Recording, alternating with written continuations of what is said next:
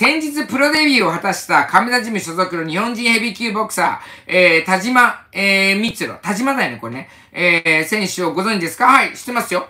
つうか、よく知ってます。アマチュア五冠で、あの、藤本清太郎選手を超える実在だと言われています。早いね。あの、ヘビー級にしてはね。現在20歳、7歳ですが、将来的には世界チャンピオンになる可能性もあると思いますか？えー、バネさんと思いますか？えー、っとね、ヘビー級ではちょっと無理がありすぎると思う。ちょっとヘビー級では小さすぎるよ。うん。今のヘビー級はちょっとでかすぎる。はい。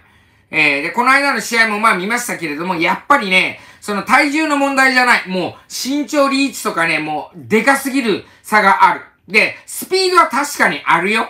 でも、フューリーや、えー、ワイルダーはもう速いぞ。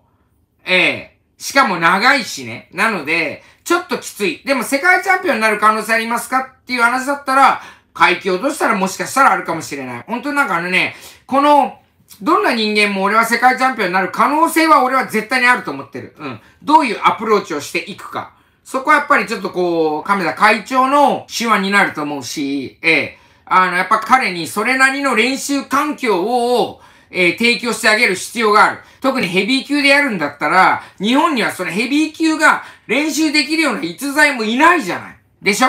うん。なので、どういう風な鍛え方をするかによると思います。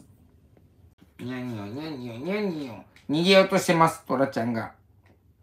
トラちゃん、こんにちはして。ね、ほら。こんにちはして。ちょっとなんかお前目がついてる。ちょっと、